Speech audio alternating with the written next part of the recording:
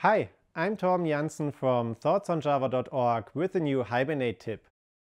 Auto-incremented database columns provide an efficient and easy-to-use way to generate unique primary key values.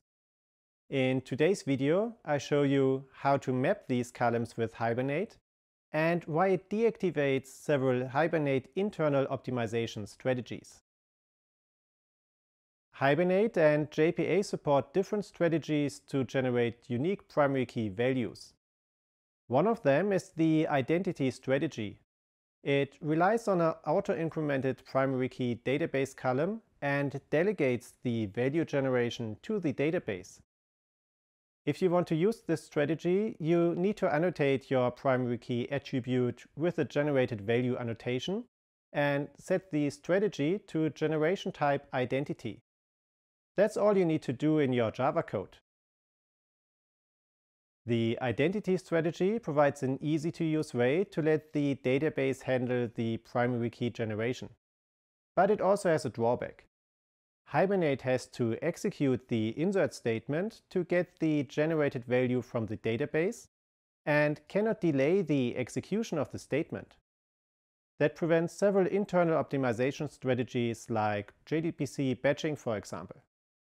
Let's have a quick look at an example so that I can show you the different SQL statements Hibernate has to execute.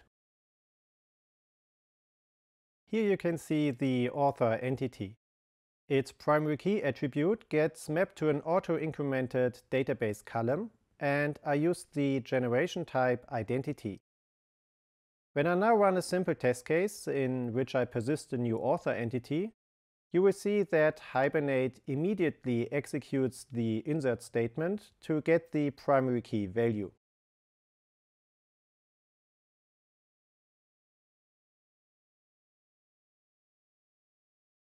Here you can see the log message before I persist the new entity, and here's the log message before I perform a flush on the entity manager. Hibernate executed the SQL insert statement when I persisted the entity and didn't wait for a flush. That isn't an issue if you don't need to use any optimization technique that requires Hibernate to delay the execution of SQL statements. In these cases, the identity strategy provides an easy and reliable way to generate unique primary key values. Okay, that's it for today.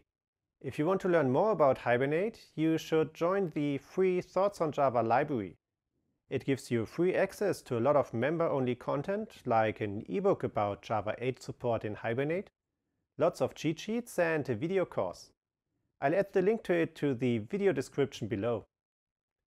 See you next week for a new Hibernate tip, and if you liked today's video, please give it a thumbs up and subscribe below.